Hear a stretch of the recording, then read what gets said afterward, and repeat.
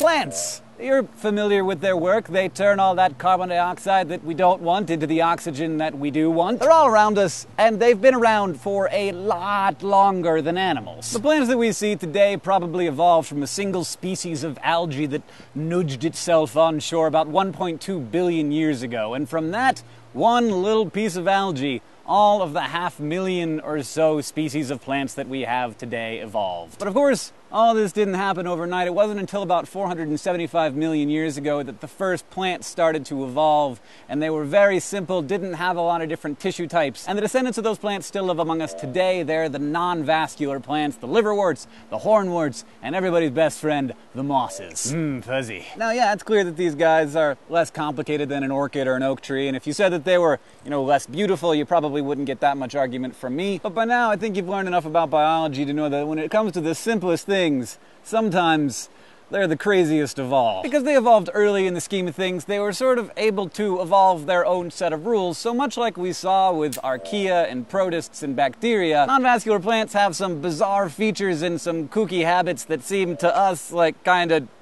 just like what? Especially when it comes to their sex lives. The main thing to know about non-vascular plants is their reproductive cycle, which they inherited from algae but perfected to the point where now it is used by all plants in one way or another. And there are even traces of it in our own reproductive systems.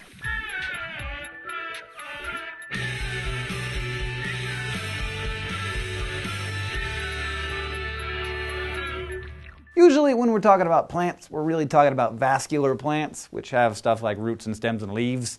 Those roots and stems and leaves are actually tissues that transport water and nutrients from one part of the plant to another. As a result, vascular plants are able to go all giant sequoia. The main defining trait of non-vascular plants is that they don't have specialized conductive tissues. Since they don't have roots and stems, they can't reach down into the soil to get water and nutrients. They have to take moisture in directly through their cell walls and move it around from cell to cell through osmosis, while they rely on diffusion to transport minerals. Another thing non-vascular plants have in common is limited growth potential, largely because they don't have tissues to move the good stuff around, or woody tissue to support more mass. The way for them to win is to keep it simple and small. So small that when you look at one of these dudes, you sometimes might not know what you're looking at. And finally, non-vascular plants need water for reproduction. This is kind of a bummer for them because it means that they can't really survive in dry places like a lot of vascular plants can, but I'll get back to that in a minute. Other than that, non-vasculars are true plants. They're multicellular, they have cell walls made of cellulose, and they use photosynthesis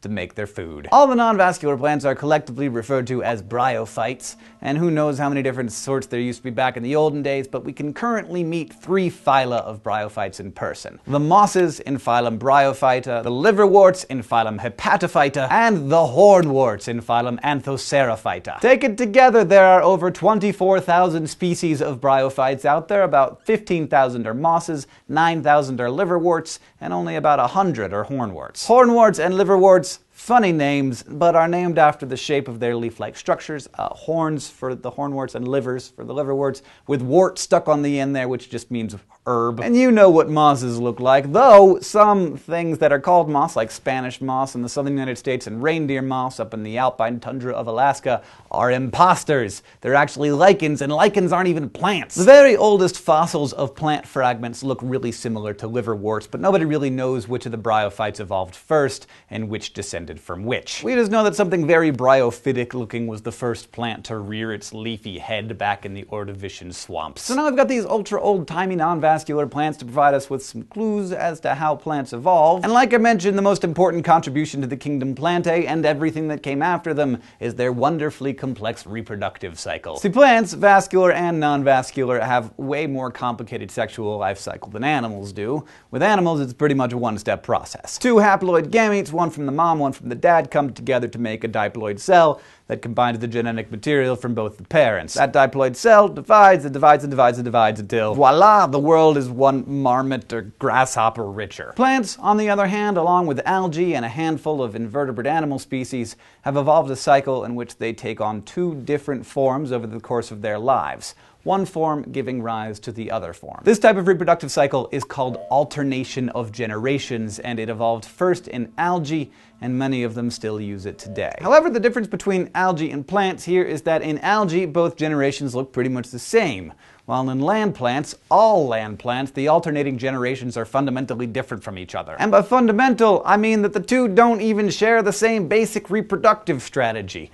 One generation, called the gametophyte, reproduces sexually by producing gametes, eggs, and sperm, which you know are haploid cells that only carry one set of chromosomes. And the bryophyte sperm is actually a lot like human sperm, except that they have two flagella instead of one, and they're kind of coily shaped. When the sperm and the egg fuse, they give rise to the second generation, called the sporophyte generation, which is asexual. The sporophyte itself is diploid, so it already has two sets of chromosomes in each cell and it has a little capsule called a sporangium, which produces haploid reproductive cells called spores. During its life, the sporophyte remains attached to its parent gametophyte, which it relies on for water and nutrients. Once its spores disperse and germinate, they in turn produce gametophytes, which turn around to produce another sporophyte generation, and so on. Weird, I know, but that's the fun of it. Life is peculiar, and that's what makes it so great. This means that the non-vascular plants that we all recognize, the green, leafy, livery, or horny parts of the moss, liverwort, or hornwort,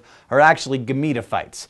Sporophytes are only found tucked inside the females and they're super small and hard to see. So in the gametophyte generation, individuals are always either male or female. The male makes sperm through mitosis in a feature called the antheridia, the male reproductive structure, while the female gametophyte makes the egg also through mitosis inside the female reproductive structures, which are called the archegonia. Now these two gametophytes might be hanging out right next to each other, sperm and eggs totally ready to go, but can't do anything until water is introduced to the situation. So let's just add a sprinkle of water and take a tour of the bryophyte sex cycle, shall we? By way of the water, the sperm finds its way to the female and then into the egg, where the two gametes fuse to create a diploid zygote, which divides by mitosis and grows into a sporophyte. The sporophyte grows inside the mother until one day it cracks open and the sporophyte sends up a long stalk with a little cap on top called the calyptra. This protective case is made out of the remaining piece of the mother gametophyte, and under it a capsule forms full of thousands of little diploid spores. When the capsule is mature, the lid falls off and the spores are exposed to the air.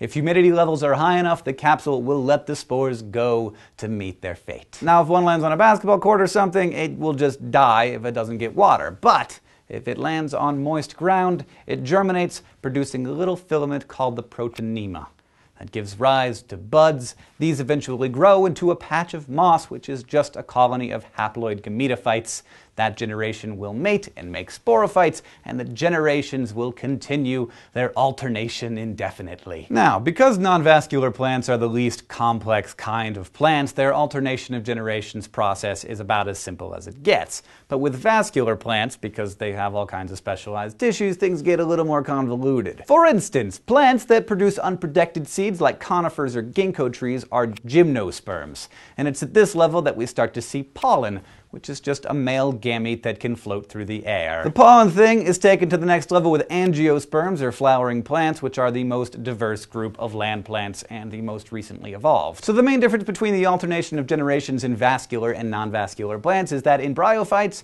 you recognize the gametophyte as being the, you know, the, the plant part, the moss or the liverwort or whatever, while the sporophyte is less recognizable and smaller. But as plants get more complicated, like with vascular plants, the sporophytes become the dominant phase, more prominent or recognizable. Like the flower of an angiosperm, for instance, is itself actually the sporophyte. Now, I maybe just stuck a spoon in all the stuff that you learned and stirred it up to confuse you more, but we'll, we'll get into this more when we talk about the reproduction of vascular plants. But whether they have a big showy sporophyte like a flower or a little damp gametophyte like a moss, all land plants came from the same tiny little ancient non-vascular plant who just put their sperm out there hoping to find some lady gametophyte they could call their own. And I think that's kind of sweet. Thank you for watching this episode of Crash Course Biology, and thanks to all the people who helped put it together. There's a table of contents over there if you want to go review anything, and if you have any questions for us, we're on Facebook and Twitter, and of course, we're down in the comments below. Thanks a lot.